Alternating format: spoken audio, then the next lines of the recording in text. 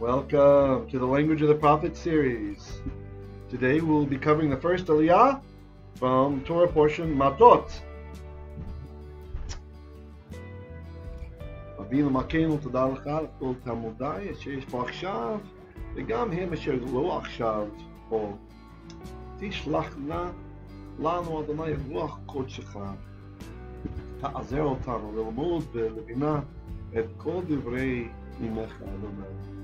אנחנו אוהבים את דבר שלך וגם את מודיעים זכות ישוע המשיח. Alright, let's get started. So we're on the first Aliyah. You all see my screen? Okay, yes. Uh, let me know if you don't see the screen. I'll assume you can see it. Okay, we've got uh, okay eight students, and although I think Fidel and Jane, I think there's two usually on that account, right? So we're pretty close. We're almost at our minyan. I know, I know we'll make it. Let's let's do this.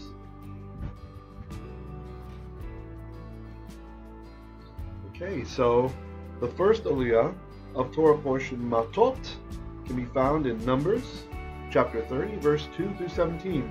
And just a reminder, this is an open microphone class, so feel free to speak up, ask questions, anything about the grammar you want to know, and we will uh, we'll see how far we can get. Here we are, starting with verse 2. Who would like to read the first verse to me? And there we have our minyan, Yofi.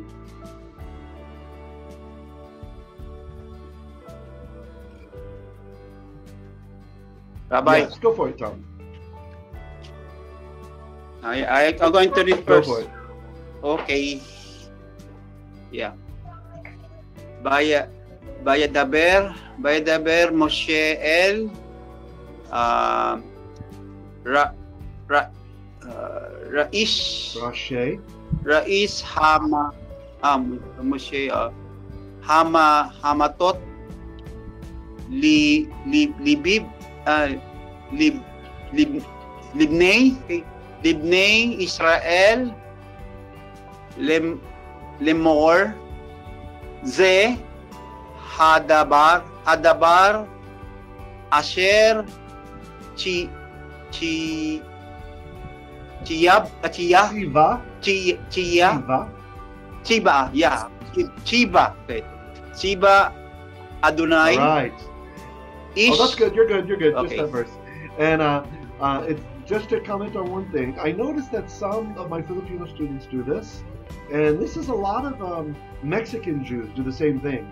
They when they see tzadi here, they pronounce it like a ch sometimes, chit, chit. But we don't have ch in Hebrew, right? We don't have we don't have that sound. so remember, it's like ts, no, s, s, s. Chiba, yeah, yeah, s, siva, siva. It must be the Spanish influence Chiba, on your language. I think maybe that's what it is. Because why would it be the same with Mexican Jews and those in Philippines? so I think it's got to be there's something about the Spanish influence. so and also, you know, you, Uh, you guys know, you guys know, uh, when someone has the name Jesus in Espanol, you know what the nickname is? The nickname. Like if you have a friend and his name is Jesus, like Jesus, you know what his nickname is? Yeah, yeah, that's right. Chewy. Chewy. Chewy is the nickname. I don't know how that comes from Jesus, but anyway. All right. Yeah, yeah. Okay, so let's uh, let's all kind of translate together. So what do we have here? By Vadaber Moshe. What's that? Everybody can join in. Anybody? By Vadaber Moshe. Adonai spoke. Almost. Moshe. Moshe.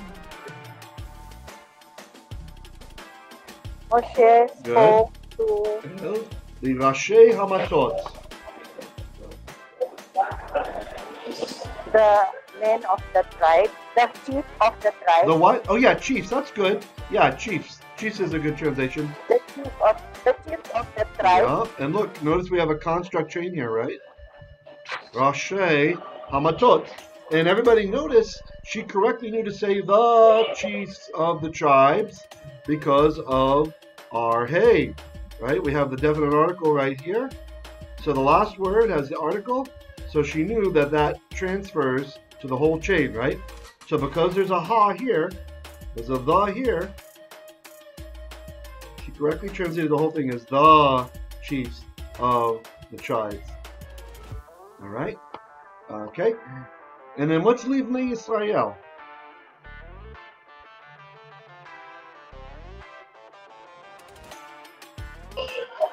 To the sons of Israel. Yeah, good, good. To the children of Israel, the sons of Israel. Lamor, so we have an infinitive construct. The best way to translate this in English, uh, I'm going to hit mute all just for a sec because there's some background noise on one of your microphones. But feel free to unmute and talk. Lamor, we usually just translate saying, right? But it also means to say, right? But that just doesn't work so well in English. So here we have in quotations what Moshe said. Okay, what's that mean? And uh, by the way, I've asked the more advanced students. You notice they're kind of being silent. They're giving you guys a chance, right? It's not that they don't know. They know. they know. They're just uh, giving you guys a shot, right? So I'll, I'll call on them if, if uh, the, you guys, intermediate guys, have some issues, okay? So, Ze hadavar, what's that mean? Ze hadavar.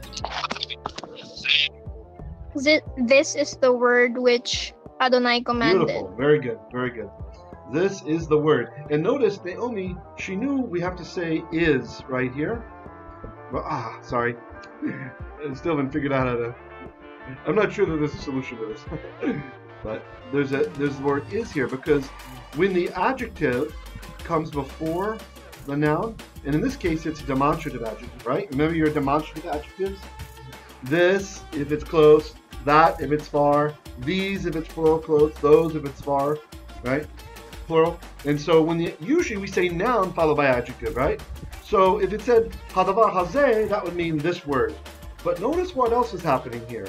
Hadavar has the definite article, right? Zeh does not. It does not agree in definiteness. We would have expected to have a nice hey with a dagesh in there if it was simply modifying the hadavar, right? Because sometimes you can reverse the word order for special emphasis, right? But we know that's definitely not the case here because they are not in agreement on definiteness, right? It's not hazeh, it's just zeh. So correctly translated by Naomi, this is the word asher, relative pronoun which, tziva Adonai. And of course, you guys remember, we have verb first, followed by subject is the normal order. Whenever we swap the order in biblical Hebrew, it almost always implies some kind of emphasis, right? But there's no swapping here, so we don't need any special emphasis. That just means they understand. They were expecting it to be from Adonai. Okay? All right, verse number three. Someone please read this verse. Rabbi, Go for it. Oh, you just read. Rabbi, can I? Oh, yeah, go ahead. Yeah, question yeah, what's your question? In, in verse Yeah. 2, in verse 2 is uh, by the bear. That, that, by, by is that uh, prefix. Can you explain Oh, that? yeah, sure, sure, sure. In by Sure. the bear. So here's what's happening. So the phrase, look at the very first word, guys. Yedaber. Yedaber. This is the imperfect conjugation of Piel Uh, verb from the root davar, right? Okay. So by itself, without the vav, mm. if there's no vav here, and again, you can't do this in modern Hebrew, only in biblical. So if you don't have the vav, if you don't have the vav here, then what that means is he is speaking with the idea that it's continuously going on. It's going on for a long time, right? It's it's in process, or or it means he will speak, right? He will speak, right? But when we add the vav there, uh, vav, I tried to change colors, it didn't obey me. when we add the vav, that's the vav conversive. There's different grammatical terms for that. It's prefix. Yeah, Prefix. right, right. The conjunction oftentimes changes the meaning of the verb, right? So, so here we get, and Moshe spoke. It's we it converts this whole thing to a perfect, and perfect we usually translate as yeah? So then Moshe spoke, or and Moshe Past, spoke. yeah. Yeah, that's what's going on there. Good question. Any other questions, guys? Yeah, thank you, uh, Rabbi. Good. Thank you, uh, Sure, Rabbi. sure. Yep, everybody feel free to jump in if you have any questions, right? We want to, this is part of the joy of getting to do it inductively, right? We're in the text. I don't expect you to know it all or remember it all. So use it. This is, we're just working through it, yeah? All right. Um, verse 3, someone would like to read, please?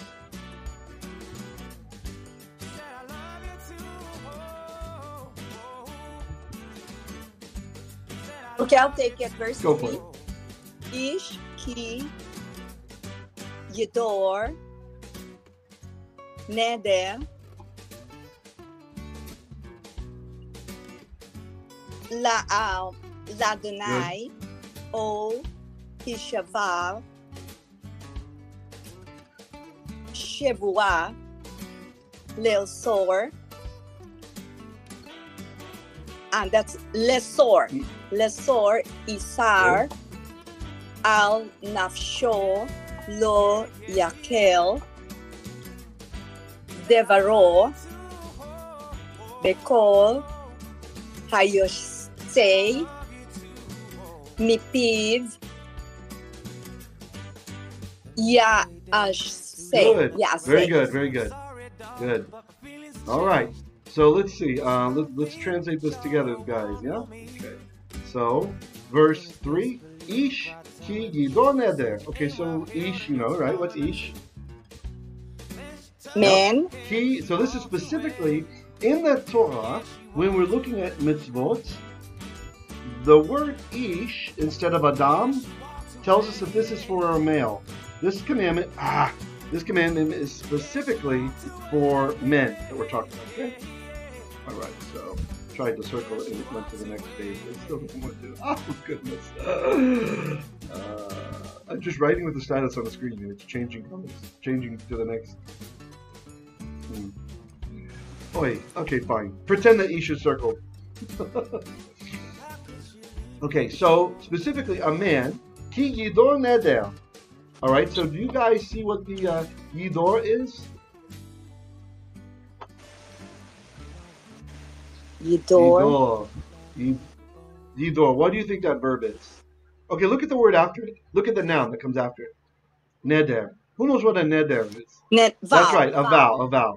So, not knowing this verb in front, I think someone's got it. Go ahead, jump. It's a verb. That's right. It's the verb form of the same noun, isn't it? Right? So even though you haven't learned this verb yet, you can figure it out because the word that follows, the context, totally informs you. And you see the dagesh and the dalet? What do you think that is? What do you think happened there? Dagesh See, and the yep, see, look here. We have a, you see It's- where that yellow arrow is? Yeah, what do you think that's there for? What's that telling us? What happened? Yidor, Aman may, written duplication. The noon is noon from neder, noon. It shows that the noon used to be there in the word. Very Yes. good. Very good. Was me. Aman, That's right. Aman makes a bow. That's right. Aman makes a bow. Good. Good. So the That's Aman So the dalet, let me see if it'll let me write now. Let's try. Let's try. If I tell it again to allow writing. Now, now. No, So you're exactly right. So the dalet is there because there is a noon which has assimilated, right? In ancient Hebrew, the theoretical form would be yindo. So this is a noon verb, and you guys figured it out and you figured out what the verb means, even though this is not your vocabulary, because of the context, the proximity of the noun neder, vowel. So, so key, this is kind of a, a sneaky beast in Hebrew syntax. You guys know the basic meaning, that or because, right? But key can mean a whole lot more. Key can mean if, syntactically. Uh, if you say key im, it says if, but it's but it's expecting a negative answer, right? So if it didn't happen, right?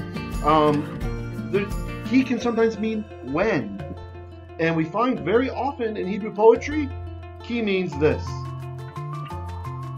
exclamation point in the middle of the sentence, right? We call it the emphatic key. And there's some other situations in ten syntax. So we'll just have to deal with them as we as we come across them. You have to be a little flexible with key. All right. So each key yidon neder. This is showing us there's in Greek this would be expressed with the subjunctive mood in the verb, right? So if this happens, this might happen, right? So anyway, so this is saying if a man yidon neder, if he shall vow a vow, Adonai, you guys know that to Adonai. Oh, what does O mean? Oh, Or, good. Or he shava shavua. Yeah, this is a bit harder because you guys haven't had this word. But does anybody know offhand what shavua means? Shavua. It's another noun. This is a noun. Shavua. Yes, Oath. yes. Oath. Very good. Oath.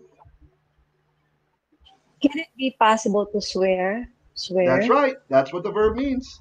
He shava shavua. Exactly. Very good. Very good. So look, see, when you guys know a word here and a word there, it already, being in the text, you're already able to work through it. If you just be disciplined, don't let yourself look at the English Bible, right? You gotta resist the temptation to look, right? Because what we're doing in this process, it's more than just getting immersed, it's more than just doing the grammar, right? And all this stuff. Really, what we are doing is we're breaking you of the habit of running to a translation, right? When really you already have a lot of the tools that a lot of times you can work it out yourself, right? Because it's a habit right now, just like training wheels on a bicycle for a kid, right? The, and the habit is to go to the translation, right? But I'm hoping you won't do this. Like in, in, in the states with my Hebrew students, I didn't let them, uh, for sure, no, in, in, no interlinear Bibles. No, no, no, you don't want that. And parallel, I tried to get them just to get Hebrew, right? But back then we didn't have the reader stuff, right? You know, so we didn't have those tools available. But now, you know, we, we've got this tool, so Hashem, this will be okay. Good, it's clear. Everybody says it's clear. Hallelujah. Okay, moving right along. Great, more people joined. Hallelujah. So let's see who would like to. Okay, so Hishava. Uh, this is a bit harder to recognize. Okay, this is the Nifal, Nifal Binyan. Nifal. Oh, it keeps doing that to me. I'm starting to wonder if the benefit of being able to write on the screen is outweighed by continuing to try to change to the next. you know, to the next, the next. Yeah. And anyway, so to swear an oath, hishava shavua, and of course you can see the noun comes from the verb. And uh, th- this is a nifal, and he's your friend that we talked about last time. He's an infinitive absolute. Oi, oi, пожалуйста, let me write on the screen. Come on. Nifal. There we go. Infinitive. If he indeed swears a shavua, leso isa. This is a bit harder. Does anybody know what the verb asa means? Asa? To bind. Yeah, that's right. To bind. So here we have an infinitive, a normal one, infinitive construct. To bind. And to bind a what? An isa. So you'll notice the text, this is intentional. The text is using the verbal forms that relate to the nouns that are derived from it. Yido neder, hishava shavua, leso isa. And this is one of those things where in the English, you might not lose a whole lot of the definition, but we certainly lose the feeling of the text, right? Like, we would say swear an oath. We wouldn't say to oath an oath, right? Uh, we wouldn't say to bind a binding or to bind a deprivation, uh, uh, a privation. Is really what it is. Like, like, uh, an Esau is a promise that you make when uh, you to deny yourself of something. Usually, it doesn't always mean that. It can mean the same thing as oath, but usually it has to do with denying yourself food, denying yourself whatever, something you like. So, so let's back up. So if a man, ishki, or a man, if he should, again like subjunctive, yidon neder, vow a vow for Adonai, or swear an oath to bind a privation. Privation means like not allowing yourself to have something, right? Al nafsho, on his nefesh. What's nefesh mean? So, Yeah, literally means soul. But usually we're talking about depriving. Uh, in this context, I would probably say on his life, right? Or uh, something like this. So, like you're depriving yourself of food, it kind of sounds weird to say depriving your soul, right? It's really hard to bring it into English exactly the meaning. Remember, nefesh can mean life force, right? It's like the the stuff that makes your cells move, right? It's a mystery. In science, you know, and I enjoy science. I think it's done great things. You know, we, we live in a very comfortable world now because of science. But uh, science has no clue what makes it so that the, the cytoplasm in the cells can move, right? You know, we, we understand what cells are, we understand what DNA is doing, we understand all these great complexities of God's creation, but we do not know how they move. That's the nefesh. The nefesh is the life force. It's the, the and the nefesh dies when we die. The nefesh dies, right? And we receive a new nefesh when we're resurrected. Okay. But it also means other things too, right? You guys are familiar. It means neck and throat. These other things that are related to life, right? Uh, it can mean a corpse, remember? In the priestly literature, when we're talking about don't touch a nefesh, if you find it in the field, right, the nefesh of a person. Anyway, it's very vibrant and its, its different meanings. So the idea is depriving yourself of something, right? So depriving oneself of something, you could even say that as a dynamic translation.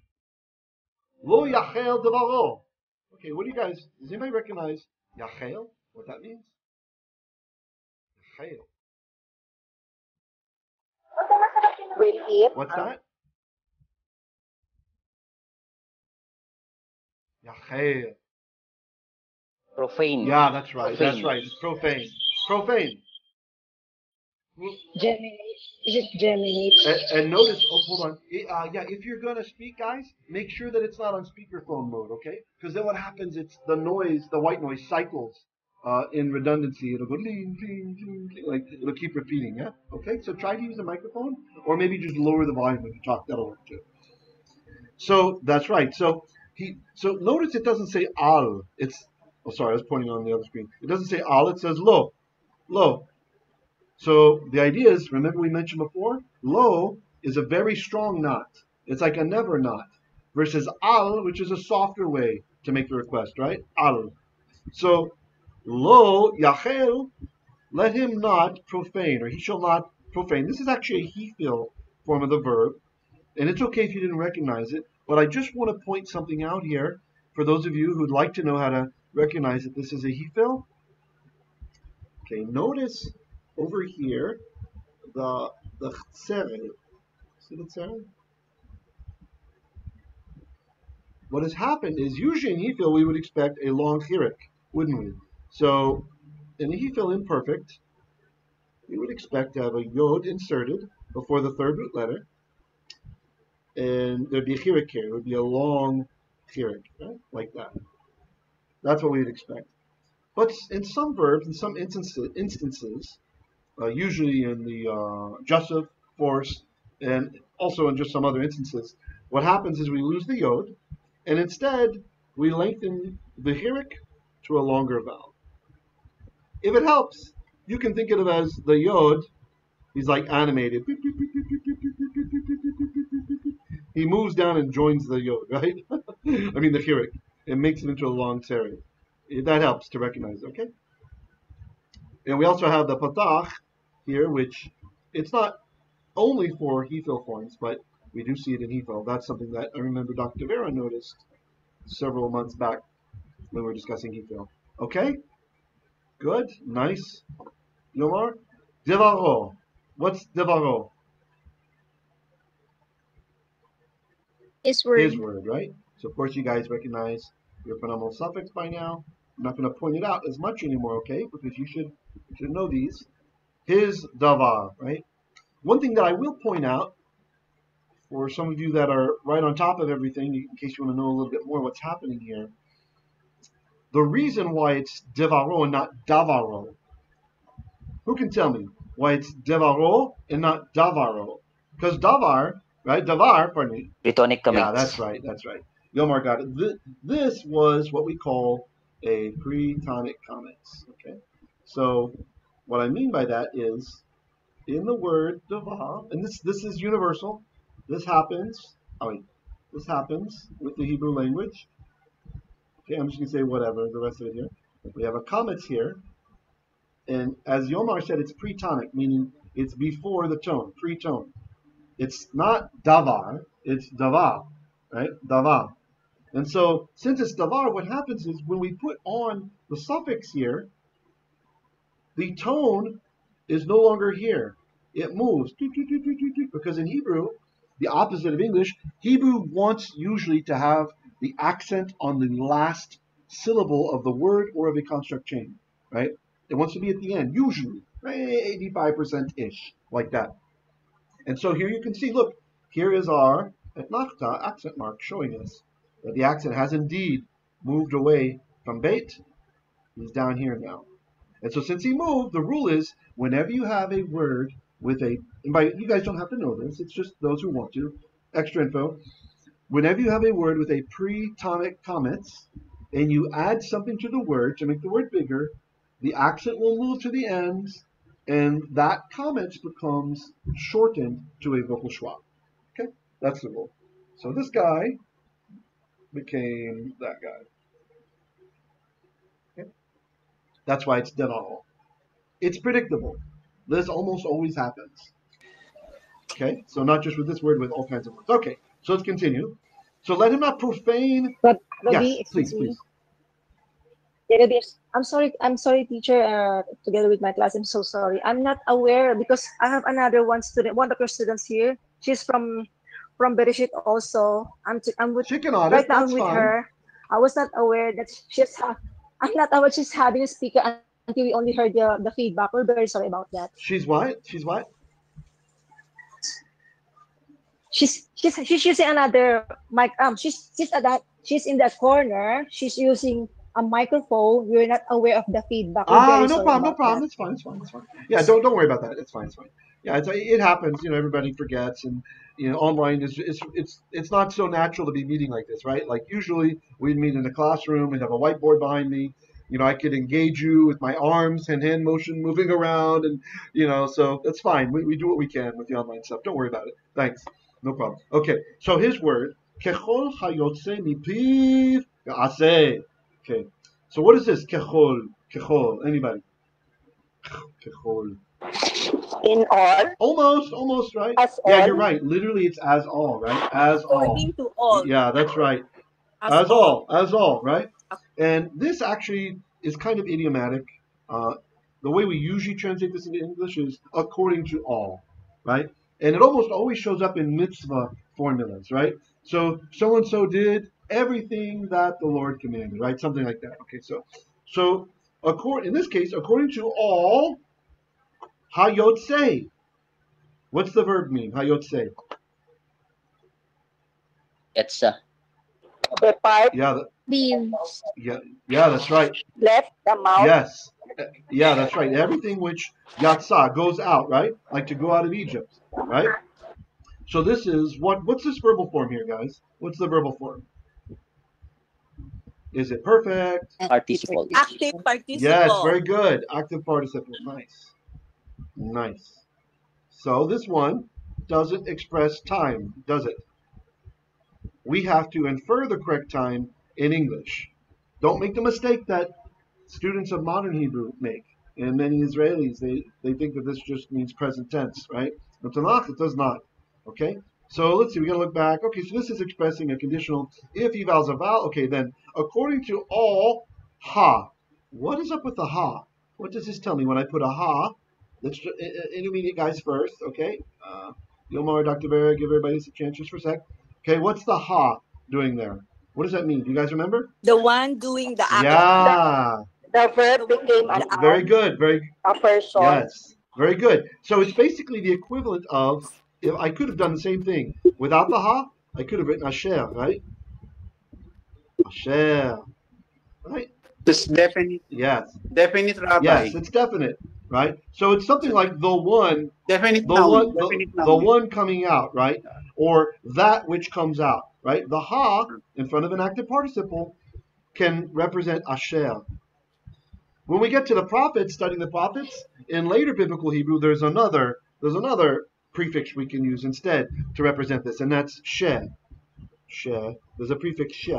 So if you see that, or you'll see it in a bracha, maybe a blessing, right? You don't have to be confused. It's supposed to be a schwa there. She. We can put she in front of a word, and that means asher. But in the Torah, we don't have that available yet. In this form of Hebrew, we just have ha to do that. Okay, or we could say asher. So kechol asher yotz- hayotze, according to all which, right, asher, which comes out or will come out mi piv. What's mi piv, guys? From the mouth, Okay, good. So So the mouth. mem is from, right? And of course, we know that this is mean, right? Mean. And that noon, that's the dagesh inside, right? Because the noon contracting, right? Like in English, cannot becomes can't.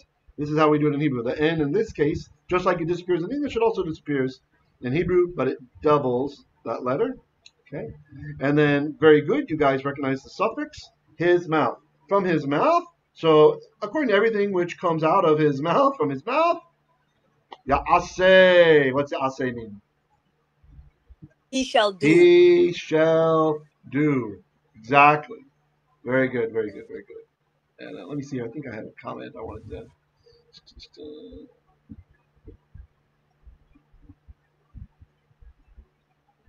So Ibn Ezra he comments that this is directed to the the Rashei, right, the heads or the chiefs, as you translated before, guys, of the Bnei Israel of the tribes. Ibn Ezra says that in his opinion, in my opinion, this part really took place. It happened uh, after the battle with Midian in chapter 31. So he's saying it's kind of out of place here a little bit. It's not chronological. And then he gives another example like this to show when something's not chronological, back in chapter 11, verse 35. So the Gadites, they came up to Moshe and they said um, what they said after Moshe gave um, commandments concerning them to Eleazar the Kohen, Yehoshua son of Nun, and the family heads of the Bnei Israel, chapter 32, 28. Since Moshe told the Gadites and the Reubenites, do what you have promised, it is natural that in our chapter, which is placed subsequently, to be told that these same heads of tribes, quote, if a man makes a vow to Hashem, he must do all of which has come out of his lips, out of his mouth. But our verse does not say the heads of the Israelite tribes. It really says Moshe spoke to the heads of the tribes, livnei Israel, for the Bnei Israel, that they should tell these things to the Bnei Israel. So it's kind of like here's an instruction to tell everybody else, right? So that's that's what's happening. He's saying it's not specifically just for the chieftains, and he's saying that this is out of sequence with what comes next. So remember, if anybody ever gives you a hard time about the order of things in the Torah, the Torah is not always chronological. It doesn't have to be. Nothing says that to be. Just because that's how stories are told today, we don't say that it has to be in that order in the Torah. Okay? All right. So let's continue on then. Verse. So you're right. Ya'aseh, that's imperfect. Good.